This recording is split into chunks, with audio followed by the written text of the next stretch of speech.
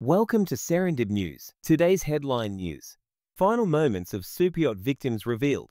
Four victims of the Bayesian superyacht sinking likely suffocated in an air pocket as the vessel sank off Italy. Seven died when the yacht, owned by Mike Lynch, capsized during a storm.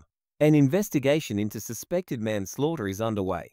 Ugandan Olympic athlete Rebecca Cheptegei dies following a petrol attack. Ugandan Olympic runner Rebecca Cheptegei has died after being set on fire by a former boyfriend in a land dispute. Her death adds to concerns over rising violence against female athletes in Kenya. An investigation is underway. New details emerge about Vladimir Putin's secret sons with Russian gymnast Alina Kabaeva. New details reveal Vladimir Putin's alleged sons with gymnast Alina Kabaeva, born in 2015 and 2019.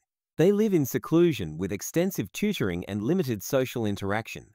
The report sheds light on their isolated, opulent lifestyle, contrasting with Putin's officially acknowledged children who have been sanctioned by the West. Alleged high school shooter's disturbing request. Colt Gray, the alleged Georgia school shooter, attempted to re-enter his algebra class before killing two students and two teachers. He was arrested after surrendering and had been previously investigated for online threats. Stephanie Rice reveals major personal news on Instagram. Stephanie Rice announced her engagement to Mark Lassey on Instagram, sharing photos of the proposal at Dubai's Atlantis Royal Hotel.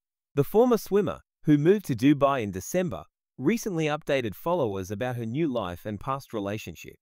Asitha Fernando's path to becoming Sri Lanka's leading test bowler. Asitha Fernando, once inconsistent, rebounded in 2021 to become a key Sri Lankan test bowler. Known for his reliability, he earned a top 10 ICC ranking with standout performances, including a five-wicket haul at Lords. Are you looking to grow your business? Promotions start from $9.95 per day.